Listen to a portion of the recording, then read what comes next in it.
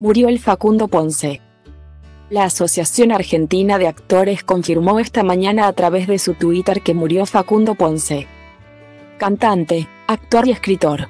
Despedimos al actor y cantante Facundo Ponce. En su multifacética trayectoria artística presentó espectáculos que combinan la música con el teatro. Nuestras condolencias a sus familiares y seres queridos, abrazándolos en este momento de gran tristeza, tuitearon. Además de ser cantante y actor, era licenciado en Ciencias de la Comunicación. Dio clases en la Universidad de Buenos Aires, UBA, publicó cinco libros y cursó el doctorado de artes en la Universidad Nacional de las Artes, UNA.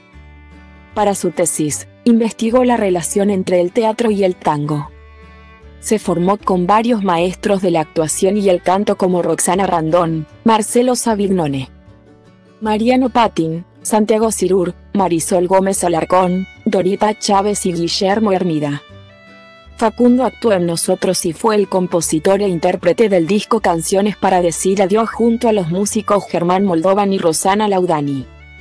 Este trabajo es una reflexión evocativa y biodramática sobre el adiós, señalaron en su campaña de prensa. La vida es una sucesión de momentos que queda capturada en nuestra memoria. Nuestros sentidos ayudan a perpetuar esos momentos. Mientras que en algún lugar de nuestra alma y corazón están esas imágenes de personas que llegaron para quedarse. Esta secuencia está dedicada a todo aquello que está retenido o grabado en mí para siempre. Reflexionó en su cuenta de Instagram hace apenas dos semanas.